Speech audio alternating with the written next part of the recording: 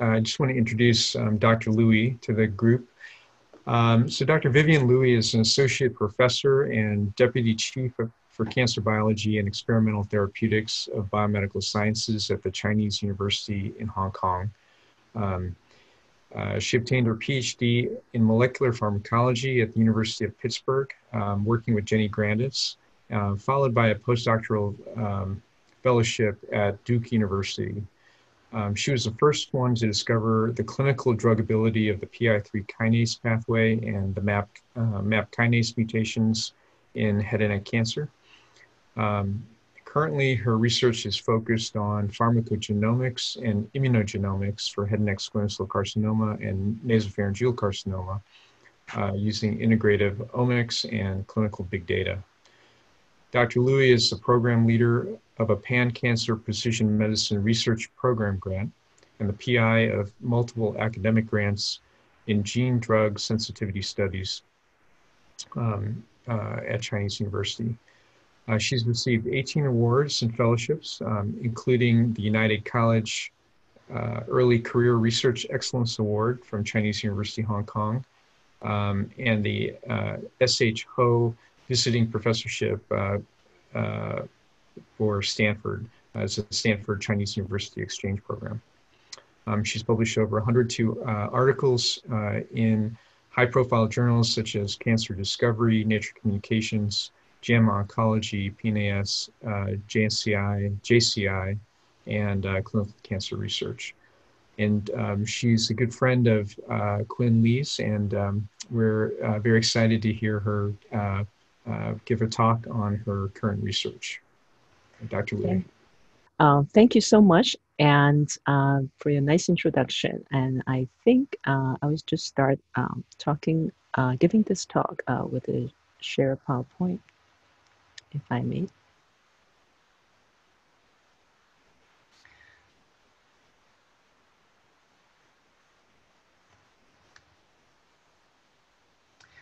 Okay, um, so I'm going to share with you today on the MAP kinase pathway aberrations in head and neck cancer that we recently published uh, about its therapeutics and immunogenomics.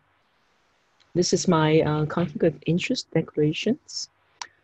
Um, so um, as you're experts in the head and neck cancer field, uh, but uh, this is just a simple introductory slide talking about head and neck cancer incidence is actually uh, rising all the way up to 0.83 millions uh, per year.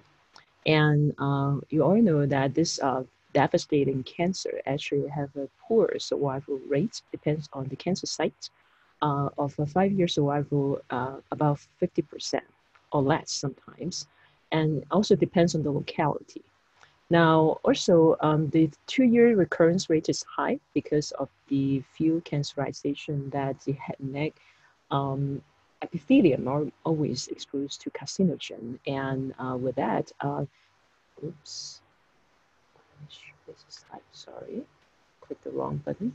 So the two years uh, recurrence rate is about 60%.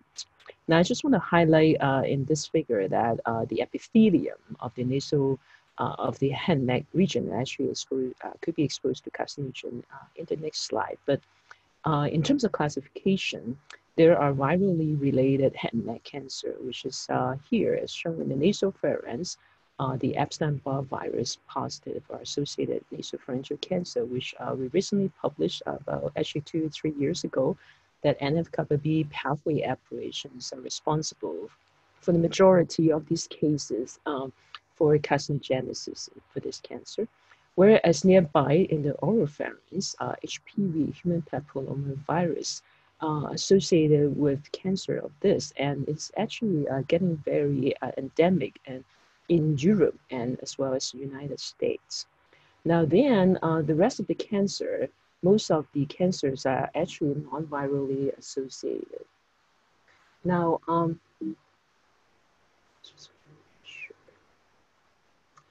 now the, there is actually a wide range of etiological factors associated with head and neck cancer, well known to be smoking and drinking. Uh, if you are a, uh, actually a heavy drinker and smoker, you have 30, 30 times higher risk of developing head and neck cancer. Now then, uh, what I just shared uh, are the oncogenic viruses, the HPV and Epstein-Barr virus. Now, betel nut, uh, betel nut uh, sniffing and smoking are actually related to high risk of oral cancer development. Now, we still don't know yet uh, the long-term effect of e-cigarettes, uh, but you know, hopefully, uh, I guess probably in a decade or two, we'll see the effect of such an uh, e-cigarette on the uh, possible incidence, uh, you know, on head and neck cancer.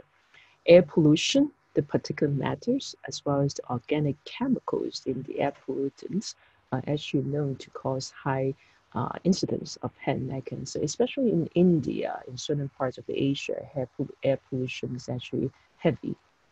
Now, Fanconi anemia um, is known uh, patient with this Fanconi anemia disease is known to have about 400 times higher risk of developing head and neck cancer. Now, last but not least, the poor oral hygiene. Uh, people are developing hypotheses that uh, the microbiome uh, that could be causing head and neck cancer as well. I always put, as a scientist, I will always put a question mark because there are always unknown factors. Now, um, the head neck cancer, if you're aware of patients who have head neck cancer or who's surviving with head neck cancer actually have the second highest suicidal rates among pan cancer. Now, pancreatic cancer, the most painful cancers of all, actually have one of the highest suicidal mortality rates, but this is second by head and neck cancer, even though the incidence of head and neck cancer is about 20%, 26% higher than pancreatic cancer but the frequency of suicide is about 334%. Now, partly because of the very compromised quality of life, uh, despite very good surgery, but those surgery are usually very uh, disfiguring on the facial feature of the patients, as well as uh, change of the living habits, the quality of life, basically, of patient are putting a very high burden on the patient's uh, on the patient's psychology. Now, uh, with regard to treatment, I'm sorry that the Zoom bar is blocking the title a little bit, uh, but with regard to treatment, this is the timeline showing the development of head and neck cancer therapy. The chemotherapies, cisplatin, paclitaxels, and 5FUs are the ones that have been used for a while, for a long time, for treatment of head and neck cancer. 2006, cetuximab, the anti-EGFR antibody, has been introduced for refractory metastatic head and neck cancer. Yet, um, the, um, the response, the clinical response is uh, actually remains to be moderate. Until 2016, uh, that pembrolizumab and nivolumab, the PD, uh, uh PD-1 inhibitor, uh, has been approved by the FDA for the treatment of very aggressive metastatic recurrent head and neck cancer. Now, um, the, um, the percent of patient responsive to uh, this immunotherapy uh, rather decent, uh, anywhere higher than 25 to close to sometimes 30%. It depends on the, uh, on the patient um, uh, immunogenomics, I would say. Now, which I will share with you a little bit later. Now, and then during which uh, what uh, we are hoping that the FDA, you know, it is in the fast track designation that tipifarnib, which is known to be effective in about 53% of uh, head and neck cancer patients uh, with HRAS mutation. So hopefully this will be in the clinic soon, uh, really uh, crossing our fingers. Now the other uh, therapies that pan-cancer tissue agnostic um, pan-cancer approval by the FDA are actually larotrectinib, uh, targeting NTRK fusion, which is actually common in some kind of salivary gland cancer, and entrectinib uh, for ROS1 fusion uh, genes that are detected in any cancers, including a very small subset of patients in head and neck cancer. Now, uh, as you can view from here, the treatment is uh, actually advancing, but still the number of patients that could benefit from these treatments remain to be limited. This is a famous um, cartoon. Actually, this is a famous uh, landscape of the head and neck cancer published in 2015 in Nature by the TCGA group. Uh, you can actually um, easily understand from here uh, that among the significantly mutated genes that are found in head and neck cancer, if you call by their names, uh, you know, you understand that most of them are actually tumor suppressor genes. that cannot be effectively targeted, except for the fact that PIK3CA are, were the ones that we actually first harnessed uh, for therapeutic potential, and then uh, followed by HRAS. So uh, most tumor suppressor genes cannot be uh, actually druggable at this moment, uh, even though a lot of efforts has been put. So um, therefore, we build on the idea that if a cancer cell uh, of a specific cancer type like head and neck cancer, they seem to have a common pathway that allow them to survive. Now, if in any way that we can find uh, identify those addictive pathways that are essential for survival of the cancer cells of the head and neck, then we may be able to harness uh, treatment to uh, find treatment for them for a larger population of patients. Therefore, uh, back in 2013, we started the pathway-centric analysis uh, using the omics data for translational precision medicine development. These are the old publication that we had, but we um, we all believe that you know back to a decade ago, we all believe that the JAK-STAT pathway is the most important growth-related pathway for head and neck cancer. Now, when we first harnessed the 151 whole exome sequencing data of the head and neck, uh, we actually found that uh, we have been wrong. We have been looking at the wrong pathway. But instead, the PI3K pathway aberrations uh, identified in almost one third of head and neck cancer patients. And it's even higher to about 50% of head and neck cancer patients if they are HPV positive. So uh, these patients all have advanced head, advanced head and neck cancer, especially if they have multiple uh, aberrations of the PI3K pathways. So they were really the first to be targeted. Now, I'm not going to show you too much of the results of the past papers, but this was the first that we uh, actually put patient's tumor as a PDX, patient-derived xenograft, into the mice and test that and show that uh, PIK3CA mutated patient tumor grafts are actually responsive to an experimental drug of the PI3K inhibitor at that time, the tumor actually respond really well uh, to the PI3K inhibitor, whereas the patient's graft with the wild type PIK3CA gene did not respond to the PI3K inhibitors. Now, with that result, um, there are actually a few clinical trials that are still going on in the US. Um, so now then, um, that is the PI3K pathway, and I really want to focus today's talk on the MAPK pathway, which is well known to be the ERK pathway uh, for mitogenic, for growth of head and neck cancer, as well as other cancer. I'm going to share with you the story where we go from one patient's exception response to many, possibly, uh, to harness this pathway for treatment. Now, the PI3K, path, uh, the MAPK pathway, the MAP kinase pathway, is actually well known. Uh, when patients have germline mutations of this pathway, they are known to have a syndrome called cardiofaciocutaneous syndrome, the CFC syndrome. This Noonan syndrome, Costello syndrome, and all these syndrome that I show you here with the pictures are displaying to you that uh, patients with these germline mutations of the pathway depicted, depicted here, they have disproportional uh, growth of the facial features. Now, at the same time, they also, if the patient with this syndrome, they also somehow known to have cardio problems as well. Now, this link between the head and neck and the heart is still unknown as to the cause of this syndrome. Now, nevertheless, uh, these are the essential components of the pathway the RAS, RAF, MAP kinase MEK, and, uh, and also actually MAP kinase actually do translocate in nucleus to cause a bunch of uh, transcription of genes that are not fully known at this moment yet. Now, uh, with this, I hope I convinced you that the MAPK pathway defects are actually affecting growth in the head and neck region.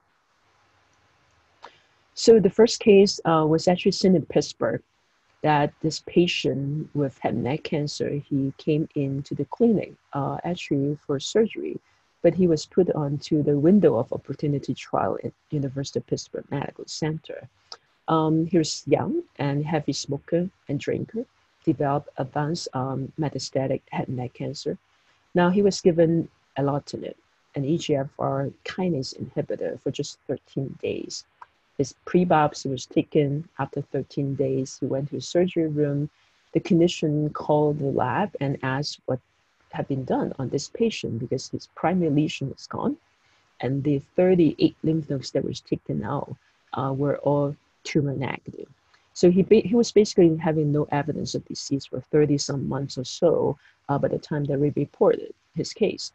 Now at that time, uh, um, we collaborated with Harvard, with Van Allen, and we published this paper and showing that uh, we were we were trying to harness the genomic data of this patient to see why he responds to erlotinib, a drug that is known seems to be useless in head and neck cancer patients.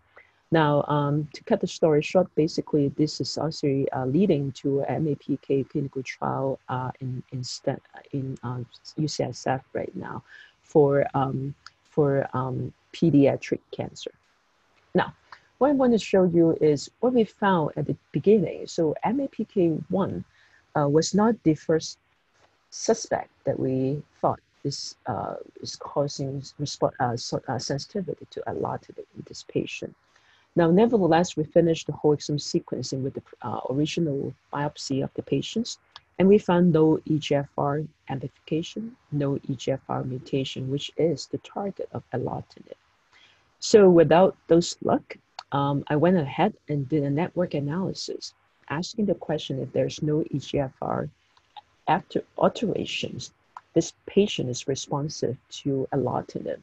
There must be something network to the EGFR pathway that is causing such an addiction to the EGFR pathway. Test very good response in the patient. Now, out of the 66 non-synonymous mutation we reported in the patient, and after nights of uh, I, uh, analysis, I finally analyzed the data and found that this has to be the one. This is the only network genes that are associated with the EGFR pathway, MAP kinase 1, which is known by its name, ERK2. Uh, this particular mutation and also validated in a way that with the pharmacogenomic analysis of all his mutations, there are only four possible druggability candidates. Now, MAPK1 is being one of the top candidates. Now, we analyzed the data further. We found that this particular mutation at E322 position that is mutated to K is actually residing in a very conserved domain of the MAPK pathway, right outside the kinase domain of MAPK1. Now, in fact, mapping these mutations uh, in pan-cancer genomic data seems to show that this is really a hotspot.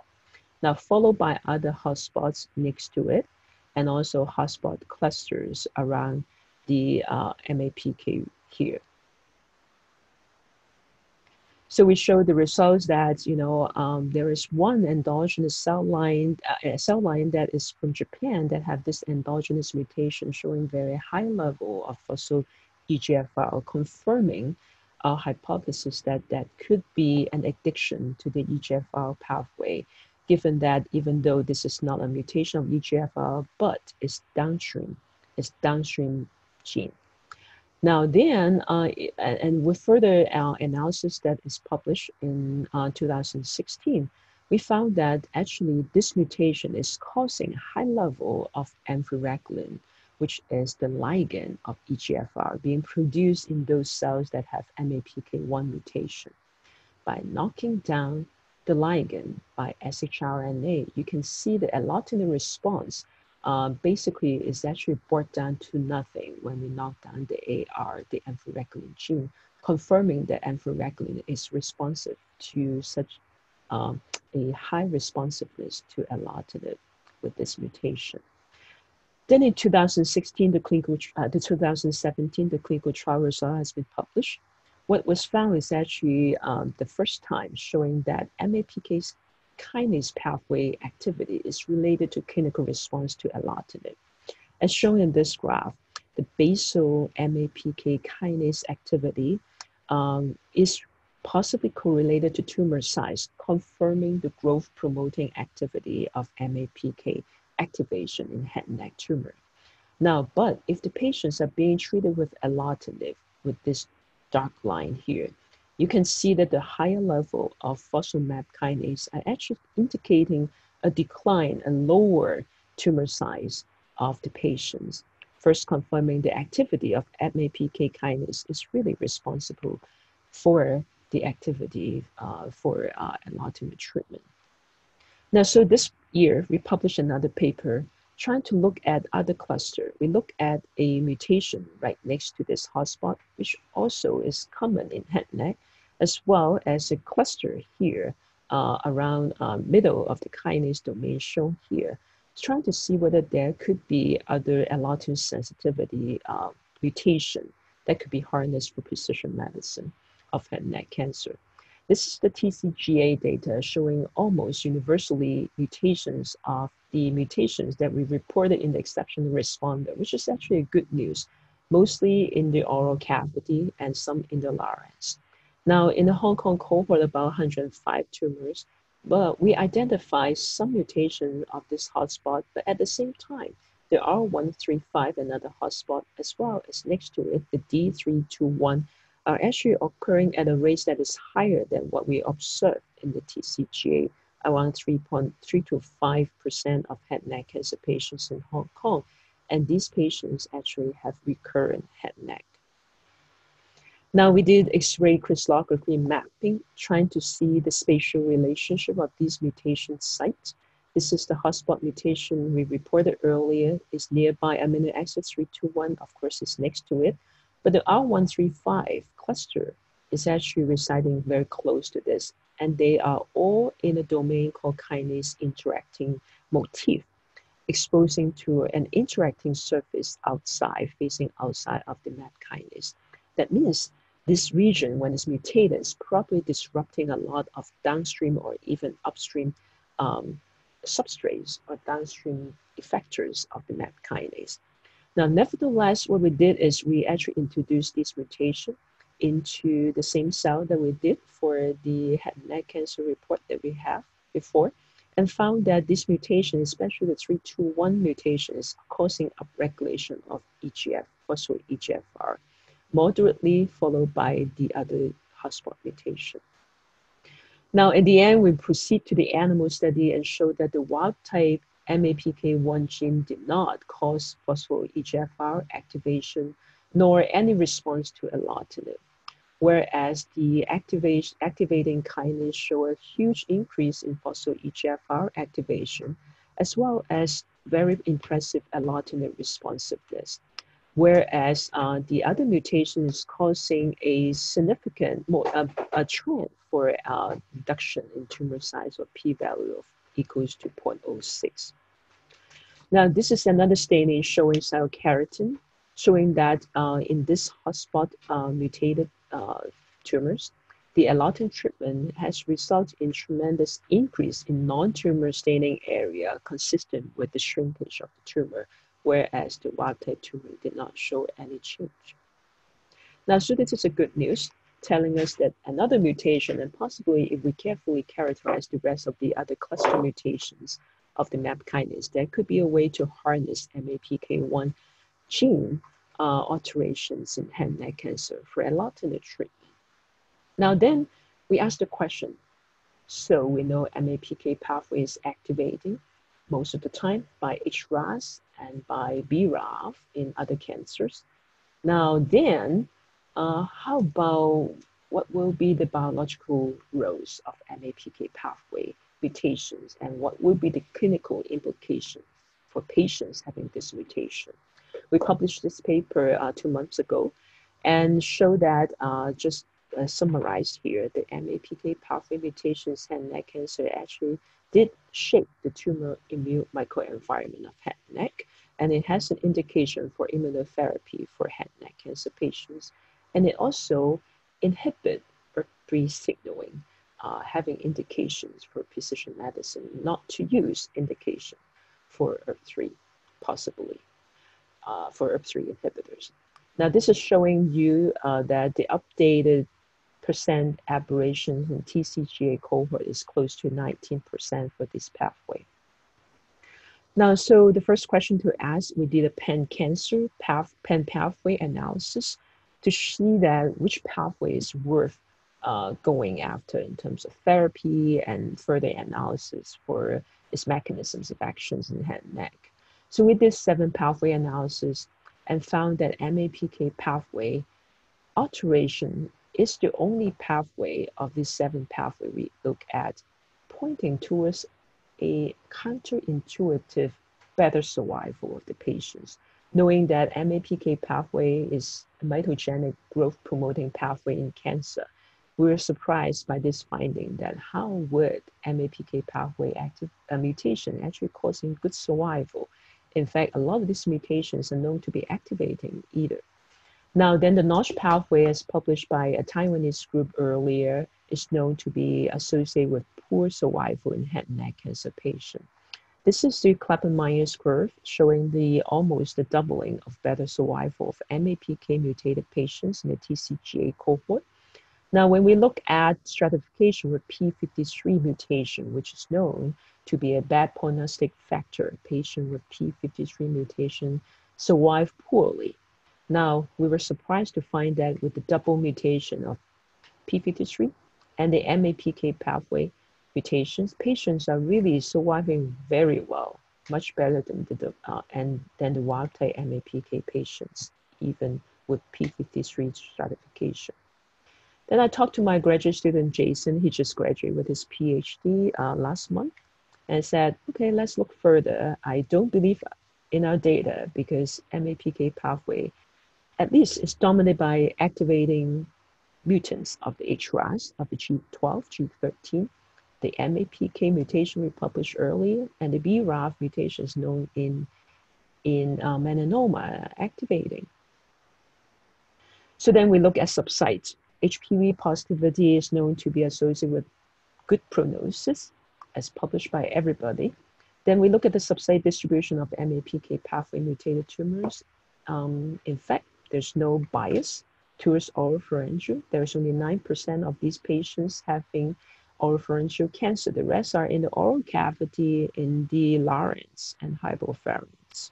So, and then we look at the clinical pathological factors. The only factors that seems to be associated are less uh, in the MAPK mutation in the mutated patients, less of the drinking history, and also more of the female patients.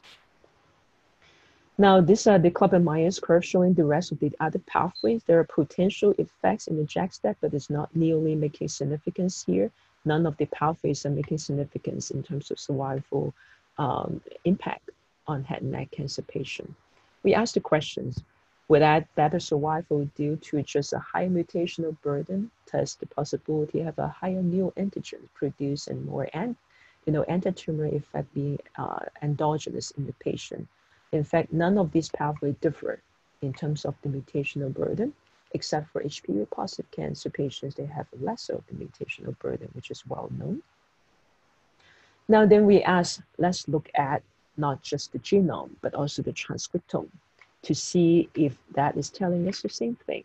We look at overexpressors of the kinases, the major kinase RAF1, MAP kinase, and the S6 kinase. And they all, when they are overexpressed, that means activation of the pathway, patients survive really well. And we look at all the kinases in the pathway, the same thing happened. Then we asked more. I said, I really don't believe so, uh, to Jason. And then he did the analysis of the adapter molecules, GRB2, SHC3. When they're overexpressed, you know, we can hypothesize that the whole thing can be more well established for the activation of the pathway. They all points to better survival of the patients. There are negative regulators of the MAP kinase specifically for activation. DUSP3, DUSP5, and DUSP9. These are the, the uh, phosphatase that takes away the phospho group of ERK. Then we see that if they are downregulated, that means the pathway of ERK can be activated. In fact, the downregulated patients all have better survival. I said, all right, the data could be true. Let's have an independent cohort to validate it. We took the MSK impact cohort, patients of all advanced metastatic head and neck cancer patients. We look at the pathway mutant patient, they all survive better. So with this independent cohort, I start to believe that what we're finding is true. And we also see the same thing in the endometrial cancer. Patients survive much better with the MAPK pathway mutations. Then the first legitimate question to ask is, are the MAPK pathway mutants actually causing drug sensitivity? Because the TCGA cohort survival is largely dominated by chemotherapy and at most cetuximab. So what we're seeing here, we saw, uh, we harnessed data of our in-house as well as the CCLE published data. And we found that none of the chemotherapy and cetuximab is showing a trend for a slight reduction in terms of the drug doses for responsiveness. So I said, so it is not due to an increased sensitivity of the drug by this pathway mutants. We did in-house analysis. I'm not uh, showing you the data. It's basically showing the same thing. Now, what we did is after transcriptome, we look at proteome, the cancer protein atlas data of 250 signaling proteins one by one. Now, what we summarize here is the head and neck cancer data unpublished. But what we see here, there are 19 proteins showing good survival or best survival uh, impact on head and neck cancer patients, two of which, BRAF and ARAF, are pointing towards better survival. Now, when we did the pan cancer analysis, this is true for another additional 10 cancer types that the pathway mutants of the MAPK in the proteome are indicating good survival whereas the rest are showing both good or bad survival depends on the candidates that you're looking at or no effect on survival in other cancers. Now then, we asked a question and Jason, my graduate student, uh, did the transcriptal analysis and found one thing um, that liraglutide, which is a ligand for activation of the ERT3 pathway, it seems to be downregulated in patients of the MAPK mutated patient. Now then, we went back to look at the proteome.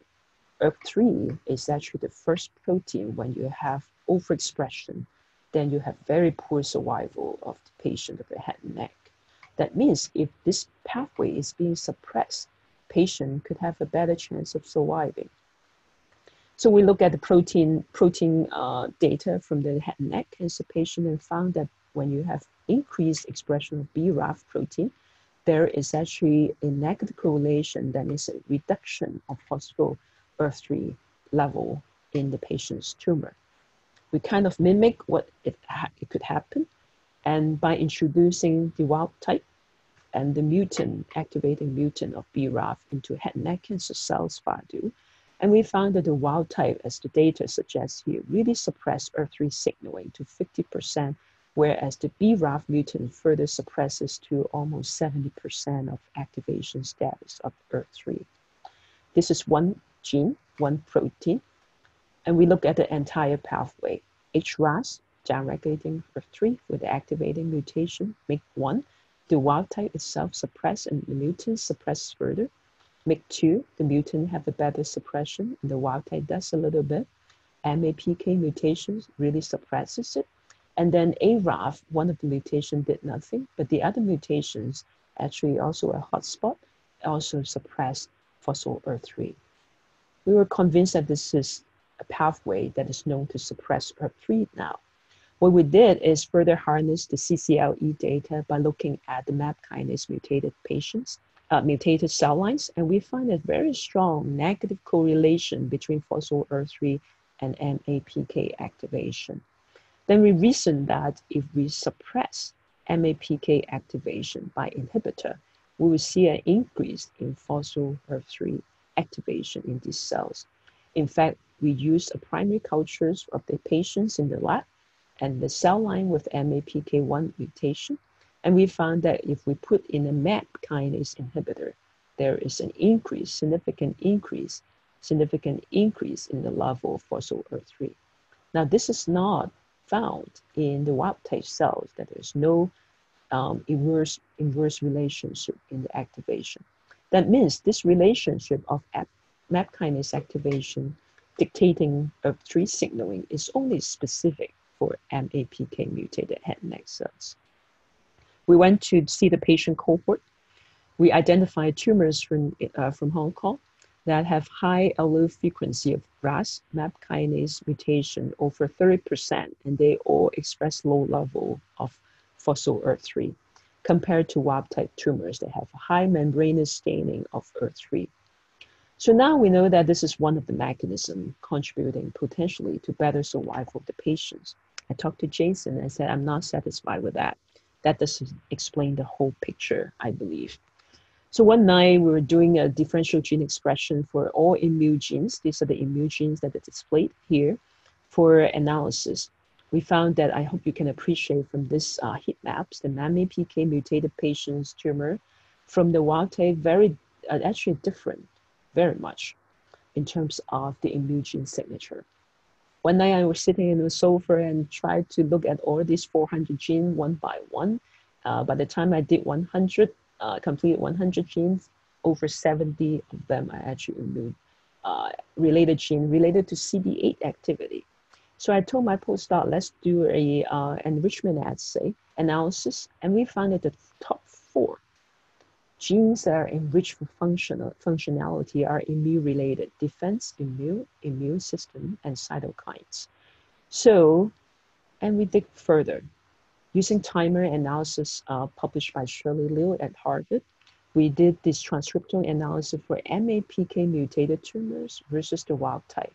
And we found that there are actually significant increase in CD8 infiltration level together with higher dendritic cells, the antigen presenting cell level, and the immune regulators, neutrophils.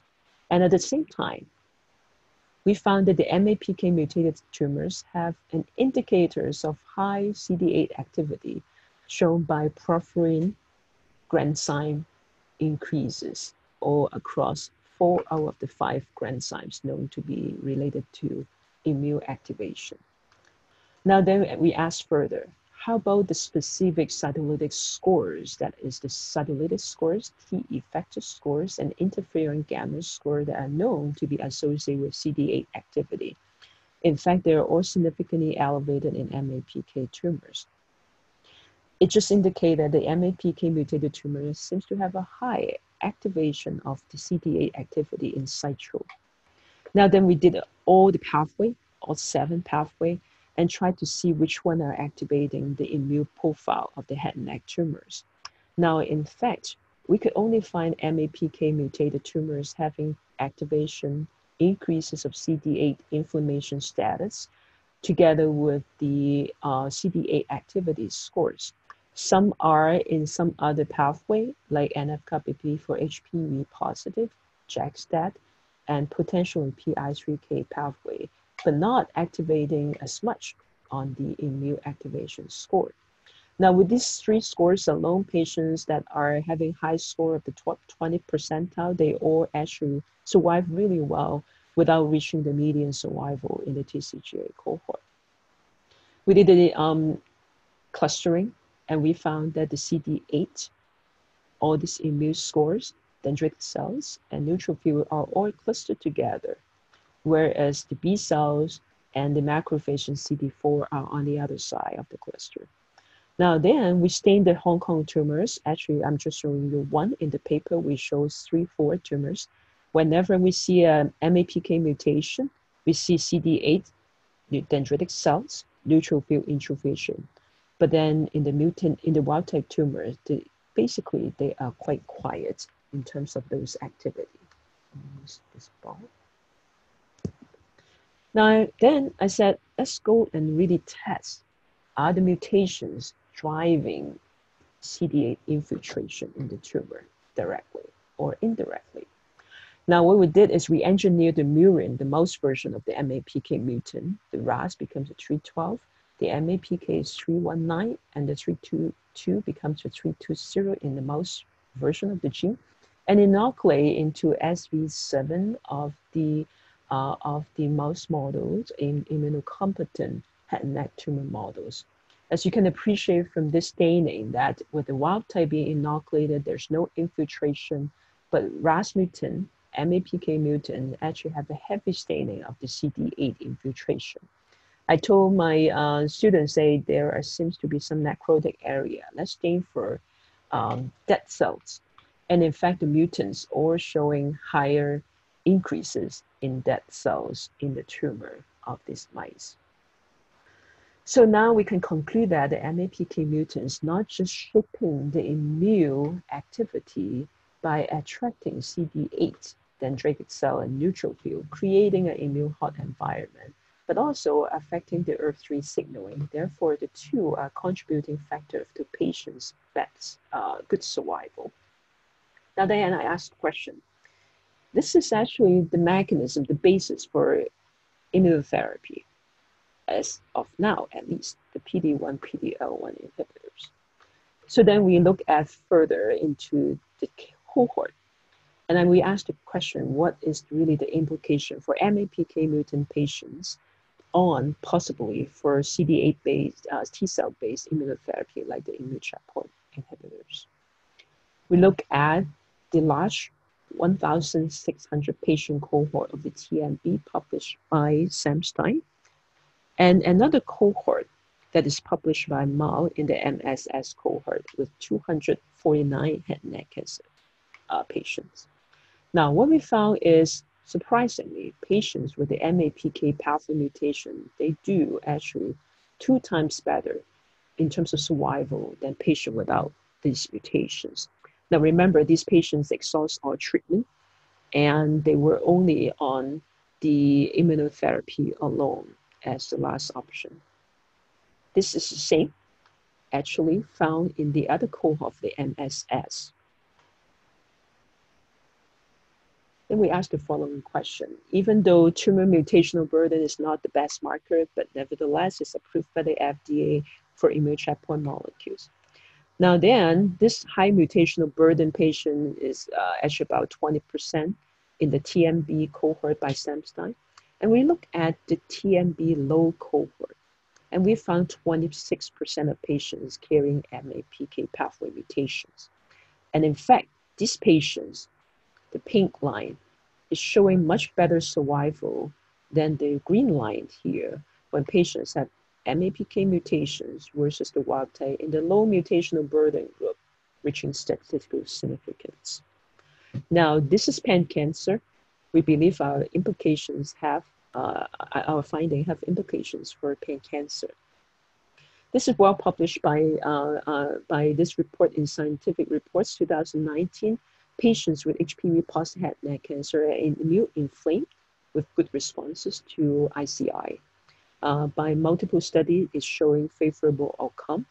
Now this, this immune inflamed status includes CD8 inflammation, of course.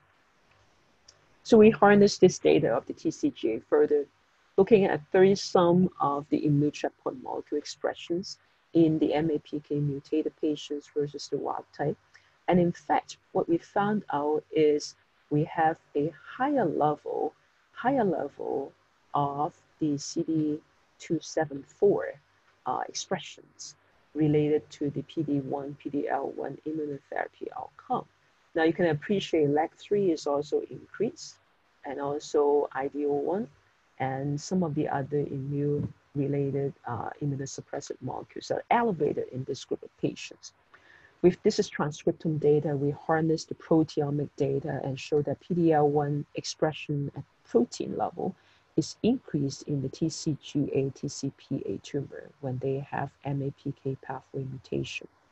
Now this, uh, we are preparing another manuscript on this. Now we ask the question further. The patients so far unbiasedly is not treated by us, oral cancer patients of the TMB cohort and also metastatic head neck cancer patients of the cohort, reaching about 50 cases in each of the case. And we found that MAPK mutation actually indicate two to three times or four times better survival than the wild type patients in this really end stage patients. When we publish, when we try to publish the paper, the reviewer asks us to do one more analysis to see an independent analysis other than the timer analysis from uh, the Harvard group. And we, we analyzed per these findings on the annual oncology by Chen et al.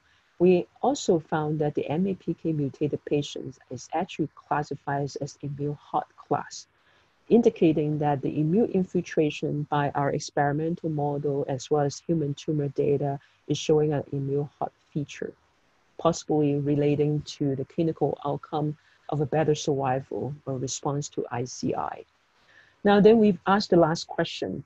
Are the TMB high and the MAPK mutated patient co-occur uh, in the oral cancer and metastatic head and neck cancer cohort that I showed you? The fact is they are not. They're not significantly co-occurring with a non-significant p-value. That means that in the TMB low patients, probably they have a large percentage of patients having MAPK mutation in oral cancer as well as metastatic cancer. So uh, we are hoping that at some point, uh, we're doing further analysis to see whether we could look at more response data uh, from the ICI treatment uh, with collaborations, see whether the MAPK mutant can be further validated even in a third cohort. Now, this is coming to the end of my talk.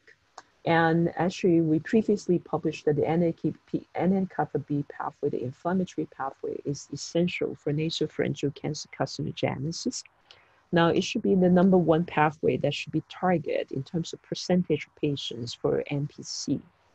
Now, but if you look at the three pathways together, we published this in, uh, in cancers uh, earlier, the three major pathways that should be really drug for HPV negative, HPV positive, as well as NPC are largely overlapping to be the NF-κB, PI3K, and MAPK pathway. We hope that in the future we can really uh, perform larger drug screen on patient-derived cells, uh, which is happening in the lab right now. So uh, I want to put this as a conclusion slide. We harness the genomic omics profile of the head and neck cancer patients trying to identify possible treatment. And some has been into the clinical trial and hopefully in the future immunotherapy trial uh, here in Asia. Now, um, I hope I convinced you that MAPK pathway is highly druggable in addition to PI3K pathway, and in particular, the MAPK1 gene, the ERK2 gene, uh, if we dissect it more carefully, uh, it cause if those mutation causes high activation of ERK or MAPK1 protein activity, it will be related to a high activity against, uh, uh, I mean, high responsiveness to erlotinib.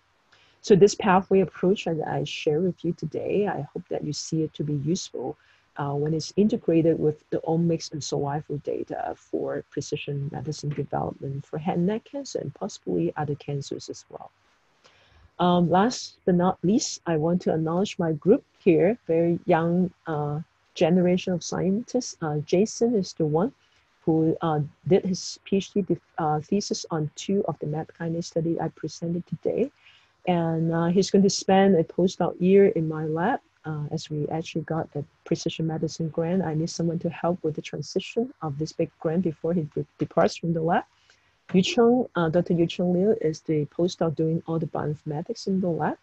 Thomas and Peony and the staff that um, working on that work on the uh, gene study NGS in the lab. Now I want to acknowledge funding from the Hong Kong agencies the government, the Cancer Fund, the uh, Research Grant Council, as well as the NIH uh, that has funded our study, and my collaborators uh, across in the US uh, and, and Hong Kong. Thank you very much for um, the time uh, for listening to my talk. I will welcome any questions. Thank you.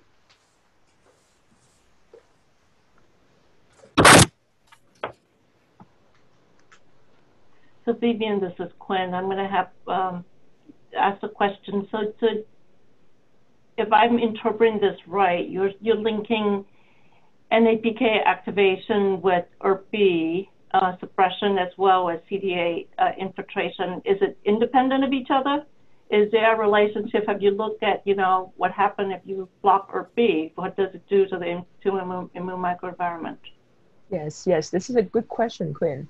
Um, so in the paper, we did further analysis. I didn't have time to go through all the analysis and results. And we did the, um, the analysis for coexistence, co-occurrence. And in fact, they do not. They do not overlap.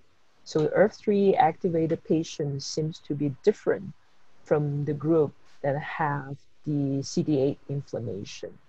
Now, but I am I am very careful with this statement because I searched, uh, you know, the publication. There is one publication in the world showing that there's some indication that ERV3 can be manipulating immune activity in head and neck cancer. So I, I will be very careful as a scientist to further dissect the link between the two before I claim this. But in the TCGA tumor data that we harness, they do not overlap. They do not overlap. Hi, Dr. Lui. Uh, I don't know, is my speaker on? Can you hear me? Yes, yes. Hi. Hi, I'm Dimitri Koyev, medical oncologist. I'm wondering about the uh, cancer type agnostic observation. So if I heard you correctly and um, interpreting your data correctly, these immune related gene signatures and increased uh, infiltration of CD8 uh, sort of was associated with the mutations in your, but I think everything we were looking at was sort of head and neck.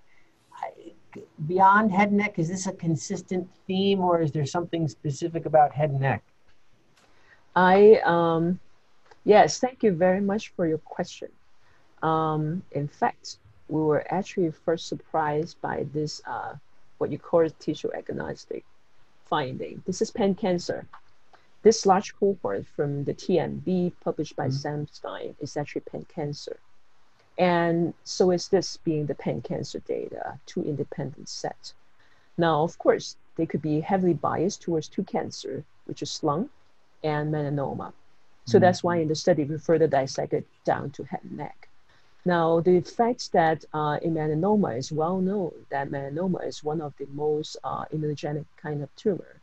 Um, that um, you know activation of MAP kinase is essential for uh, at least a large portion proportion of patients there for tumorigenesis to melanoma and maybe related to the immune feature. Now, in lung cancer, it has been published that the RAS mutation, just on RAS mutant lung cancer, it is immune attracting. It is immune inflamed uh, in lung cancer. So we believe that what we found here, not just with our head and neck uh, data, but also with the pan cancer data, uh, I think the implication can be really outside of head and neck. Now, uh, one suspicion is the neogenicity, the antigenicity of some of these well-known mutations of the MAPK pathway, right?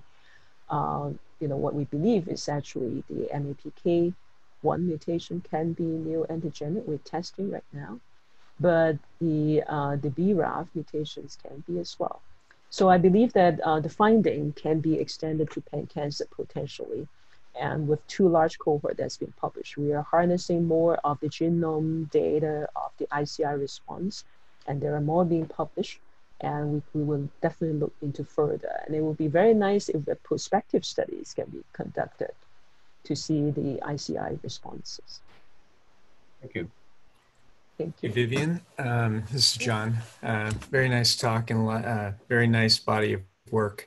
Um, quick question with the MAP kinase uh, 1 pat, uh, mutations, if you look across the, the TCGA or even within head and neck, do you see any specific mutations that tend to co-occur with the MAP kinase 1 mutation? Mm. I, my short answer, just out of my head right now, we look at the most prominent one, which is P53. They do not co-occur. We did a clinical pathological analysis. They actually do not co-occur all the time. Now, but of course, this is hard to say because P53 mutation exists in about 80% of the head and neck tumors. Okay, the only evidence we could find is really a lesser of the, uh, the drinking history. And uh, the other path, the other mutations, we are, I, I don't think we have seen any other uh, mutational features that are associated with it. Now, um, but um, but I think it is in terms of association for druggability, I, I don't see much of the co-occurrence of the druggable gene, uh, honestly, at this point. Yeah. Yeah, the, the, reason I ask, um, and just maybe a suggestion, is that, um, you know, you see this you see this association between the MAP kinase 1 mutations and uh, the CD8 infiltration, but um, it's possible that the MAP kinase mutations are cooperating with something else, which is driving the inflammation, right? And so um, um, it just might be interesting to look at that uh, uh, to see if there's something else that's associated that might be driving uh, what you're seeing. Yes, yes, correct, correct. And that was my actually my my question when I asked my uh, uh, graduate student to do the experiment for the, in the mice. I just want to make sure the only thing that we engineer is the MAP kinase mutation or HRAS mutation. And we already seen, uh, this is actually day six after inflammation. Uh, when we implant the tumor uh, into the mice of the CH3 background, which is immunocompetent, we already see infiltration and some death of the tumors. So we suspect that it alone is doing its job. But what is really behind the whether it's exosome release or, or whatever. Uh, uh, and I, I actually, if you ask me for the mechanism, I actually believe what is happening is there is an actually steady turnover of cells dying, not surviving really well, because exposing is possible tumor antigens to the immune system and then attracting the immune cells. The reason why I say that, even though we don't have full evidence that we have one patient-derived models that have MAPK1 mutation, and uh, when we graph onto mice, uh, even though it's not full immune active mice, but we do see the tumor growing and then being stagnant. And then the tumor was actually having a lot of uh, inflammation in the tumor. But since that is not really a fully uh, immunoactive mice, so, so we just didn't publish data. But we do see one, and especially in Asia, we see these mutations being in uh, recurrent, recurrent head and neck tumor, advanced head and neck tumor. The mutation rate of MAPK1 is actually higher in, in Hong Kong than in the TCGA cohort. So, uh, so, but there is definitely a lot to be studied. Uh, why is it causing such a heavy immune infiltration in head and neck tumors. And uh, everybody knows that uh, head and neck tumors are kind of immunogenic, you know, lesser than melanoma, but it's still quite immunogenic compared to other cancers, likely because of smoking, drinking, uh, ablations of the DNA. Well, great. Well, thank you so much for a fascinating talk and um, and walking us through this. Um, it's seven o'clock, so we'll conclude the session, but I, I'll stay on, and if anybody else wants to stay on to ask uh, uh, Dr. Louie any questions, uh, please do. Um, but thank, I uh, want to thank you again for sharing your work with us. Thank you very much, John, and thank you very much, everybody, for um, staying that late for this Grand Round talk. I hope I will visit you all, uh, you know, maybe some, you know, maybe next year. That'd be great. Yes. Thank you. Thank you for coming. Thank you so much. Thank you. Thank you, Quinn. Thank you. Hey, Vivian, stay on for a second. I'll, I, I want to ask you a few more questions afterwards. Sure, sure. Yes, yes. John, you are actually doing a lot of research in head neck and also melanoma, I noticed, and and then also a lot of on the NK, the immune side of the uh, head neck, right? Yeah, my so my my research is um, more focused on the immune response uh, to to tumor cells. Um, uh, not so much in the genomics, although we we do um, incorporate some of that work. We have some we have some work related to NST1. Actually, you you showed NST1 mutations on your on your um, graph and um, as you know, it's a, a histomethyltransferase and targets H3K36. Um, so we've done some modeling similar to what you've done and shown that NST1 mutations uh, actually can confer uh, an immune exclusion phenotype. Um, so, um, so I those are those are the types of studies that we that we do, um, and I found I found what you did um, with the MAP kinase mutation is very interesting. Thank you, thank you, thank you. I um, uh, we work very hard on this story, and uh, you know, um, and we, it turned out that that study turned out to be very fruitful because there are a lot of downstream uh, bioinformatics finding, um, then uh, and also expanded our way of harnessing the transcriptome further uh, into a multi-pathway approach. Uh, in fact, we are working on a pan pathway, even larger scale, uh, to look at uh, all possible uh, functional and therapeutic indications in, in head and neck cancer. So uh, working hard on it during the COVID-19. That's great. And so you were you were at uh, Pittsburgh with um, with Jenny Grandis, is that right?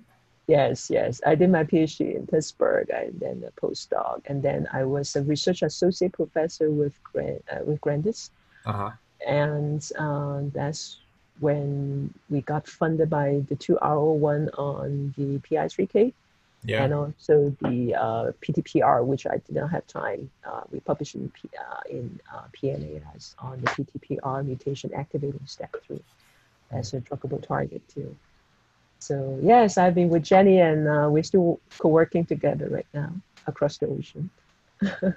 Great, great, fantastic. And and and you've I, I missed it. So you've done uh, actual some actual research with Quynh as well. You worked together with Quynh. No, actually, I I know Quynh uh, during conferences. I so see. she is the some of the advisors from nasopharyngeal cancers uh, uh, studies back in Hong Kong. So we have this Gordon conference. You know, I met with her, and uh, therefore I know her. And then sometimes we met each other in the ACR and just chat. Yeah, yeah. Yes, yes. One of our residents, actually, um, our former residents in otolaryngology, his father um, was the founding chair of surgery at Chinese University. Um, Arthur Li, do you know Arthur Li? Arthur Li. Yes, yes. He's still in Hong Kong. Yeah, yeah. Yes, yes. Arthur ah, Arthur Li's son was one of our residents here in at Stanford. really? Yeah, I yeah. see. I see. So he's uh, with you under your team, or He, well, he's no longer um, on. He's not at Stanford anymore, but he was a former resident. He still lives in the area, um, but um, actually, I, I actually don't know what he's up to right now. I think he he was doing something with um, with uh, finance or venture Oh. capital or something like that. Yeah. okay? I Yeah. see. I see. I see. That's interesting. I um actually I was I, I visited Stanford uh, a few years ago, and uh, because my husband's uh, previous advisor, he's in, I think he's in the he's a surgeon in the of the urinary tract. I think it's the bladder related, you know. So uh, we visited him that time. Ah. It's a very nice area. Yeah, not not right now. Now it's terrible with all the the fires and everything. But um, but yeah, it's uh, generally a, a beau- very beautiful place. It So is. Uh, it will get cleared out. I, I actually kind of see uh, Chris Holsinger here. yeah, do you know Chris? I know his name. Never met him in person. Um, I I don't think I can see his face either. He must have stepped away. Hi, Chris. Yes, yes. Chris, are you are you there? He might have I, stepped. I saw his name uh, many times on publications. Yeah. he, he he visits Asia quite a bit. He does a lot of uh, uh, speaking about transoral robotic surgery. So I see. I think see. he's, um, he's in Asia quite quite often. Yes, I see, I see. So your your research work on so you you you you focus on the immune cell, the NK cells a lot, and is the NK cells going to help us in terms of therapy of the head and neck? Are you are you asking me? All right, or Yes, yes, John. um, well, you know, I think that I think there's definitely a therapeutic potential uh, for them. There are a lot of companies now working on adoptive cell therapy of ex vivo expanded NK cells, and some of the some of the data looks really promising. There's a whole um, area on CAR NK cells, similar to CAR T cells. Um, you know, most of that work is done with uh, hematologic malignancies as opposed to solid tumors. So Yes. it, it'll remain to be it remains to be seen whether or not the cells can get inside the tumors. Um, and so that's Hmm. one of our, our main interests is trying to understand what drives immune cells into this solid tumor microenvironment and what prevents them from getting in. And as I mentioned, um, one of our ideas is to look at NSD1 as a modulator of immune infiltration. I see. I see. I see. NSD1 mutation is somehow related to smoking, right? That's correct. Yeah, that's correct. Uh, related to smoking. The other one, you know, it's interesting. You found HRAS is very um, common with immune inflamed tumors, right? Mm, yes. Yeah. So um, HRAS tends to co-occur with Cas8, uh, Yes. and we have uh, we've been doing a lot of work studying Cas8 mutations, and um, and um, if you look in the TCGA, the Cas8 mutated tumors tend to be very inflamed, very hot tumors. So we think we think it's a separate entity. Um, and one of our I don't know if Quynh told you we're we're putting together a SPORE grant. Uh, it's a it's a multi um, it's like it's almost like a a program project grant, but with a translational clinical focus. And the um, one of the projects is on Cas8. I see. I see. Actually, uh, yeah, re- you remind me. Yes, HRAS is the only one that is, you know, really significant coexisting with caspase eight, um, you know, um, right now.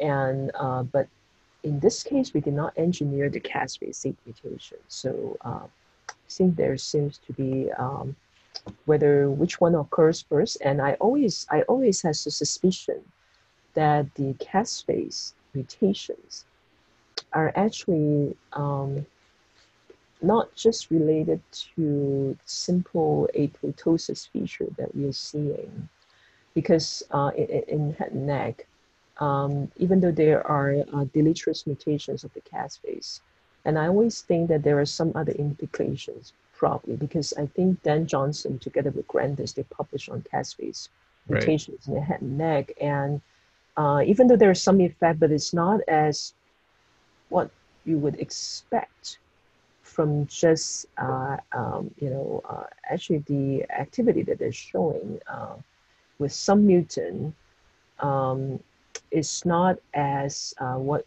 at least I expected to be more um, more um, I mean posting more of the effects on head and neck cancer because you know caspase-8 mutation is pretty high frequency in head and neck and it's just on little survival differences that seems not to be the whole story. That's what I believe. Right. And in fact, if you have caspase defects, you could affect the toll-like receptor signaling and all these. So uh, I think if you look at the um, our actually we're preparing the pan pathway paper. We look at all cast caspases together. We look at all cast caspases together. You looked at all the what together? yeah, um, we are actually this is um, this is pan pathway looking at 70 we're looking at 70 pathways not just in head and neck cancer we're doing a pan cancer as well but i put a lot of emphasis on head and neck cancer because you know this is what i'm doing but what i see is uh, if you look at the whole caspases together it does have some immune indication Hmm. it does it does. I so I don't think it's just survival, honestly. Yeah, yeah. Yeah. So um, so we're looking further into how, but there is, seems to be a lot of pathways uh, being different for HPV positive and negative in terms of uh, uh, clinical indications as Mhm. well as immune features. So we are we are working on it. So there could be more on the caspases. I always think. Yeah, yeah, yeah. Yeah. Well, I'd love Yeah. to talk to you more about it. Um, so Mhm. yeah, well, we could we should set up another call sometime and and see if there's anything we could collaborate on. Yeah, sure, definitely, definitely. And I'd love to. And um, let's work out a time that we can chat more. And uh, yes. are you right now on campus or you're at home? I'm actually on campus. Yeah, I'm in my office Oh. right now. Oh, you still have to travel home. Uh, yeah, yeah. I um, uh, Quynh and I actually have a deadline in a couple of weeks, so just oh my goodness. gonna work on that. Yeah.